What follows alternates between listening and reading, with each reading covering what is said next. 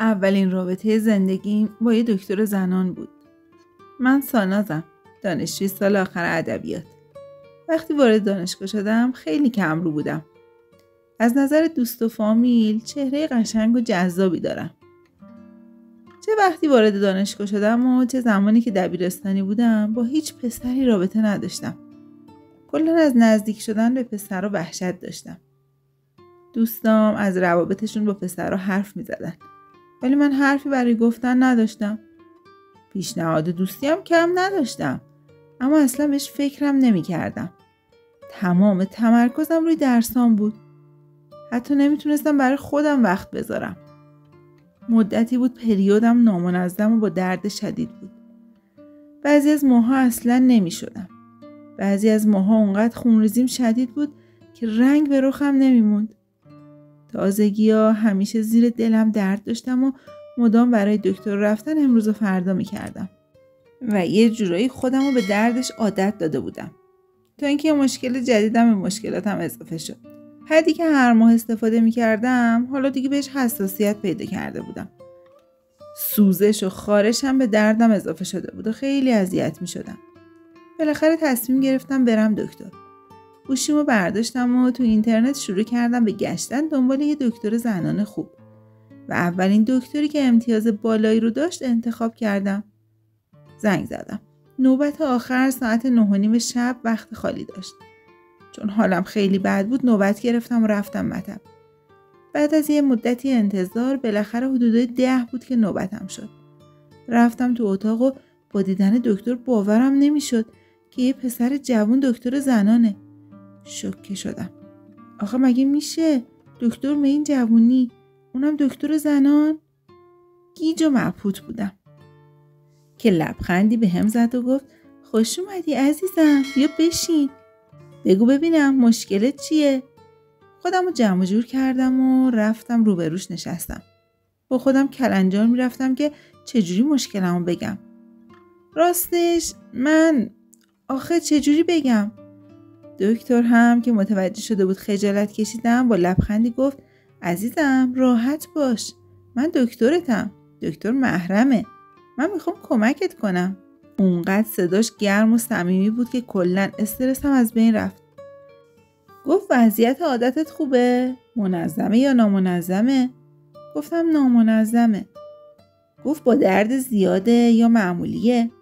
گفتم با درد زیاد. گفت تو شکم و زیر شکمت هم احساس درد داری؟ گفتم خیلی گفت خونریزیت کمه یا زیاد؟ گفتم یه ماه کمه یه ماه زیاده یه ماه هم که پرید وسط حرفم و گفت اصلا عادت نمیشی درسته؟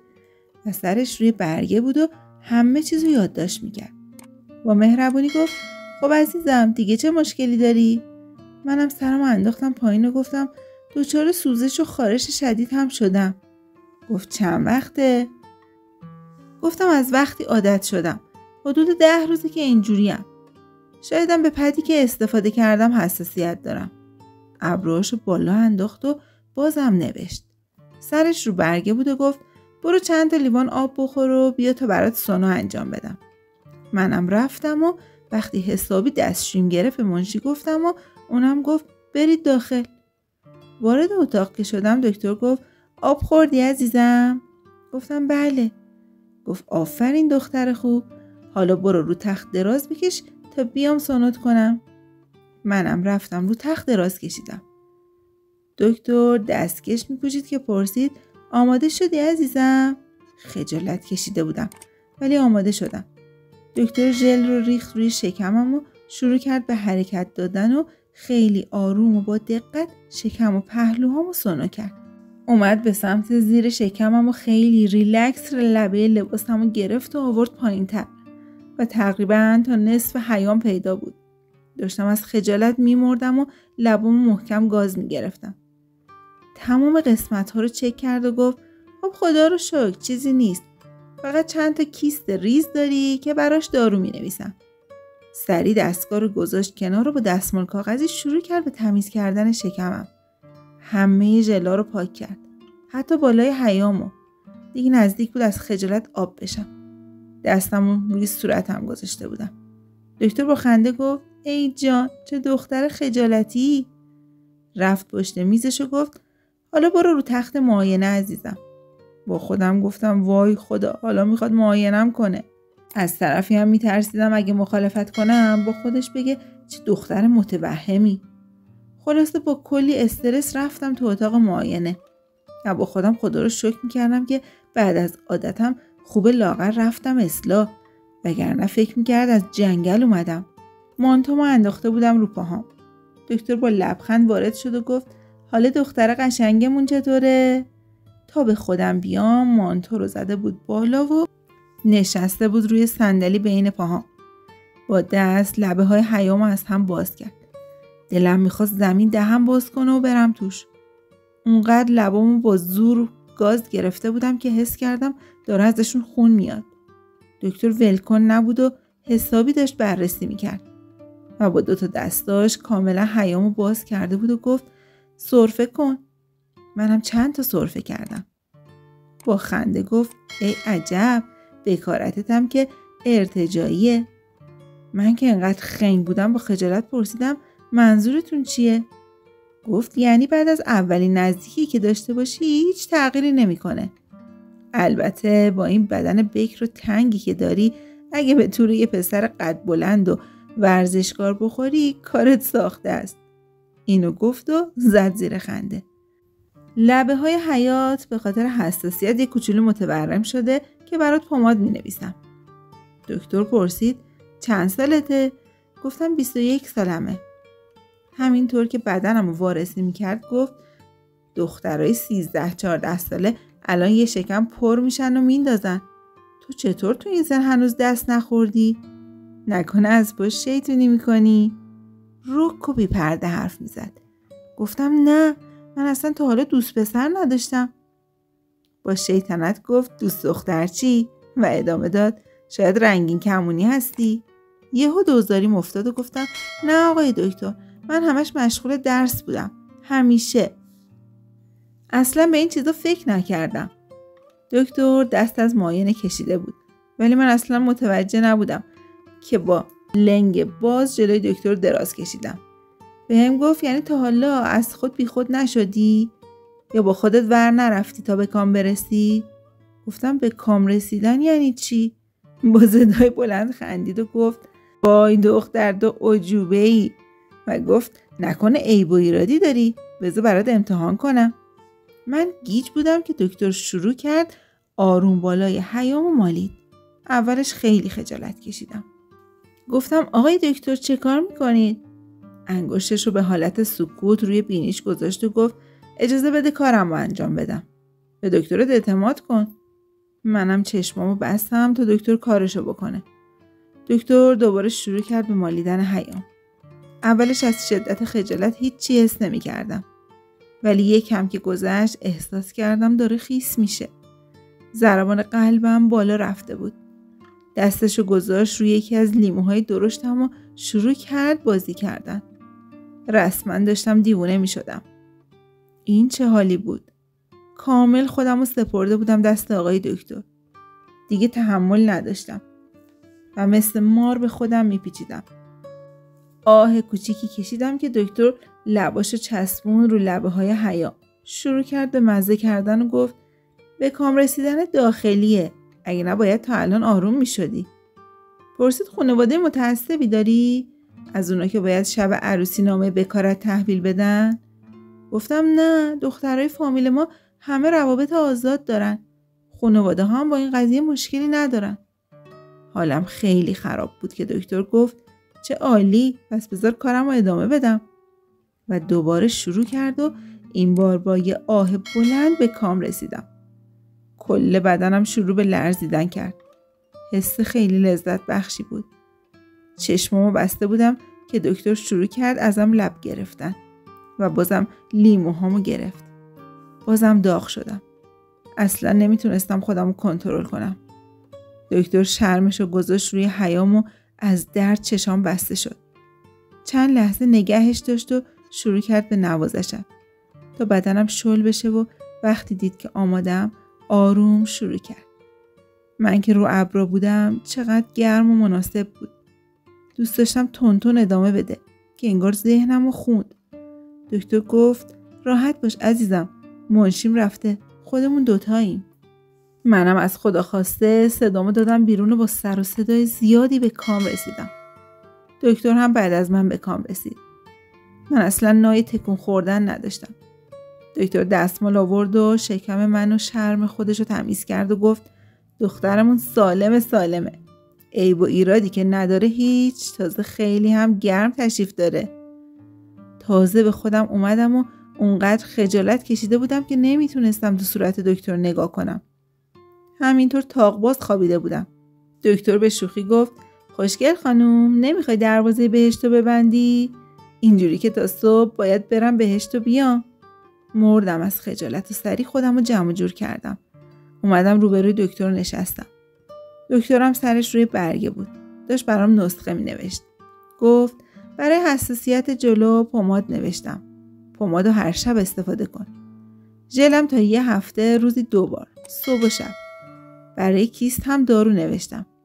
حتما همه رو بگیر و مصرف کن. یه سونو هم نوشتم برای یک ماه بعد. بعدم یه چشمک ریزی زد و گفت اگه دوست داشتی بیا خودم برات انجام میدم. لبامو با دندون گزیدم. برای حساسیتم یه هفته دیگه بیا و برای معاینه اگرم بهتر نشدی بیا داروهاتو عوض می‌کنم. نسخه رو گرفتم و داشتم بلند می‌شدم که برم که دکتر پرسید وسیله داری؟ گفتم نه ماشین می‌گیرم. گفت خودم میرسونمت عزیزم. با هم از مطب اومدیم بیرون و تو پارکینگ سوار ماشین دکتر شدیم و راه افتادیم. من از خجالت اصلا نمی‌تونستم حرف بزنم که دکتر گفت همیشه انقدر ساکتی؟ داشتم با انگشتام بازی می‌کردم که گفتم زیاد اهل حرف زدن با کسی نیستم. زیادی درونگرام. دستشو گذاشت روی پام و گفت از بهشت بکر و دست نخوردت هم معلوم بود. وگرنه که دختر به این خوشگلی عجیبه تا حالا بکر مونده باشه. راستی تجربه اول چطور بود؟ همه چیز دوست داشتی؟ منم با شرم گفتم خیلی زیاد. بهترین حسی بود که تا حالا تجربه کردم. گفت خوشحالم که اولین تجربهت لذت بخش بوده و دوستش داشتی. چون متاسفانه بیشتر دخترها به خاطر ناشی بودن طرفشون تو اولین رابطه اونقدر اذیت میشن که کلا زده میشن و هیچ وقت طعم واقعی به کام رسیدن رو نمیچشن و حتی کشیده میشن به سمت همجنسشون یا اینکه خودشون دست به کار میشن و خودشون رو خالی می‌کنن که این خیلی بده. 90 درصد پسرها فقط می‌خوان کارشون رو سریع انجام بدن و نمی‌دونن که بدن یه دختر چقدر حساسه و باید خیلی رعایت کنن و قبلش حسابی آمادش کنن. یه رسم مسخره دیگه دست نخورده بودن دختر تا شب عروسیه. اون وقت این میوه چیده نشده می‌رسه دست یه پسری که می‌خواد این سرزمین رو به نام خودش فتح کنه و اصلا به این فکر نمی‌کنه که اون دختر بیچاره به خاطر استرس و شرمی که داره چه دردی می‌کشه. و این میشه بدترین خاطره از قشنگترین شب زندگیش. دلم می‌خواست ساعتها پای حرفای دکتر بشینم. خیلی قشنگ حرف می‌زد. همینطور که حرف می‌زد ران پامو ماساژ می‌داد و دستشو آروم برد لای پاهام. دوباره حیام نبز گرفته بود. آه ریزی کشیدم و دکتر زد زیر خنده و گفت دختر تو محشری. عجیبه که با این شدت از احساس تا این سن بکر موندی لعنتی. به هم گفت اسم ساناز بود دیگه درسته؟ گفتم بله. دکتر گفت ساناز. الان که من حس رو توی تو به وجود آوردم ممکنه خیلی اذیت بشی. لطفا مواظب خودت باش و به هر کسی اجازه نده ازت استفاده کنه. من واقعا تشنه بودم. کارتش رو از جیبش در آورد و گفت این شماره منه. هر وقت احساس نیاز کردی به خودم بگو. باشه. منم سرمو به نشونه تایید تکون دادم. دیگه به خونه رسیده بودیم و گفتم بابت همه چیز ازتون ممنونم. دکتر خم شد و گونم بوسید و گفت منم از تو ممنونم که لذت این تجربه رو نصیب من کردی. و گفت منتظر تماست هستم. خداحافظی کردم و دائم به اتفاقات توی مطب فکر می‌کردم. تنم گر می‌گرفت. دیدم اینطوری نمیشه. پریدم تو هموم و دوش آب سرد رو خودم باز کردم. از فرداش تو دانشگاه هر پسری رو که می‌دیدم چشمم میافتاد به اونجاش. دست خودم نبود. منی که روم نمی‌شد به پسر نگاه کنم حالا همش می‌خواستم بهشون نزدیک بشم. ولی همش به حرفای دکتر فکر می‌کردم که مبادا به هر کسی اجازه بدی ازت استفاده کنه. دو سه روز که گذشت دوباره به دکتر زنگ زدم. اونم گفت بیا خونه. منم که از خدا خواسته بودم رفتم و اون شب تا صبح دو سه باری به کام رسیدیم. خلاصه هر وقت حالم خراب می‌شد می‌رفتم پیش دکتر. یا تو مطب یا خونش. حسابی منو آروم می‌کرد.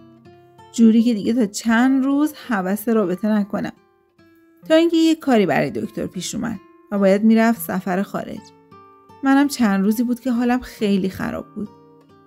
تو دانشگاه یه پسری بود که تازگی ها خیلی به هم توجه می‌کرد. اسمش سامان بود. معلوم بود از خانواده درستیه. کم کم با هم آشنا شدیم و رابطمون عمیقتر شد. سامان خیلی پسر خوش مشرب و باحالی بود و ما همه جور کنار هم خوش بودیم. تو مدت دوستیمون هر نوع رابطه ای رو هم با هم تجربه کردیم. تا اینکه سامان به خواستگاریم اومد. هر دو تا خانواده هم راضی بودن. بعد از یه مدت کوتاه با تصمیم خانواده و عشقی که بین هر دو تامون بود ازدواج کردیم. همه چی خیلی خوب پیش می‌رفت. که یه روز گوشیم زنگ خورد. دکتر بود. با همون صدای مهربون همیشگی به هم گفت خوبی خانم خوشگله؟ منم گفتم بله. گفت هیچ خبری ازت نیست؟ برای معاینه های دوره ایت هم نمیای؟ گفتم خوبم دکتر مشکلی ندارم. چرا باید بیام؟ ولی اون اصرار می‌کرد و گفت اگه نیایی ممکنه دوباره دچار مشکل بشی یا؟ و حتی اگرم مشکل نداری هر خانمی باید برای معاینه دوره ای بره پیش دکترش. خلاصه اونقدر اصرار کرد که منم یه وقت ازش گرفتم. آخر وقت مطب بود و من آخرین مریض بودم. رفتم تو و سلام کردم. دکتر گفت به به خانم دروازبان بهشت چطوری دختر؟ خبری ازت نیست. ولی من اصلا دهنم باز نشد که بگم ازدواج کردم و همه چی خوبه.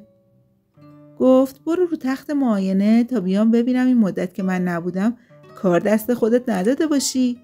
منم رفتم و با همون خجالت همیشگی آماده شدم. دکتر دستکش به دست اومد و با خنده گفت به به انگار اوضاع خوبه. و شروع کرد به مالیدن حیام. اولش مقاومت کردم و گفتم حتما زود تموم میشه. ولی دکتر مشغول بررسی بود و دائم با حیام ور می‌رفت. که منم یهو داغ شدم و دوباره با آه و ناله زیاد به کام رسیدم. اونم که انگار خوشش اومده بود شرمش وارد حیام کرد. از خود بی خود بودم. مغزم اصلا کار نمی‌کرد که دکتر گفت پاشو خانم کوچولو. معلومه که حالت خیلی خوبه. بریم برسونمت. من که انگار تازه از خواب بیدار شده باشم گفتم نه نه خودم میرم. و سری لباسامو پوشیدم و هرچی دکتر اصرار کرد که صبر کن میرسونمت دوان دوان به سمت آسانسور رفتم. به کوچه که رسیدم تازه فهمیدم چیکار کردم.